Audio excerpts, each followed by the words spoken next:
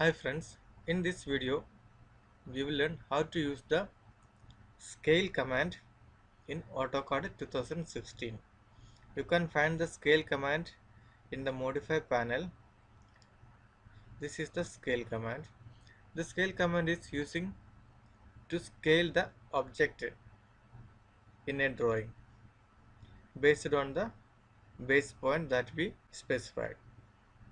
For example, if you want to scale this object, you can specify a base point and a scale factor. If you want to increase the size, you can specify a scale factor greater than 1 and if you specify the scale factor between 1 and 0 it will reduce the size of the object that means select the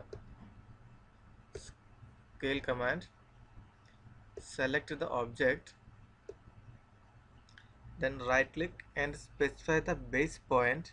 The base point stay unchanged when you scale the object. See when I move the mouse it will scale the object. If you want to big or small like that. If you want to create a bigger object you can move your mouse. Or if you know the scale factor you can specify the scale factor. Here I am going to choose the scale factor of 2 so it will double the size. If I choose the scale factor between 0 and 1 it will shrink the object. So press the spacebar to repeat the command of the scale. So scale command is activated again.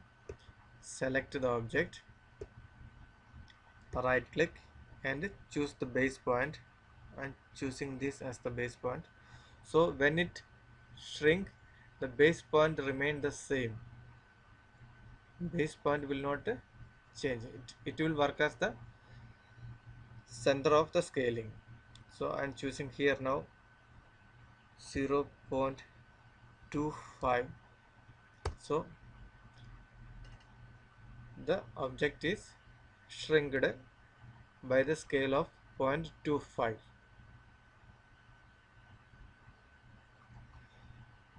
thanks for watching. If you like this video subscribe to my youtube channel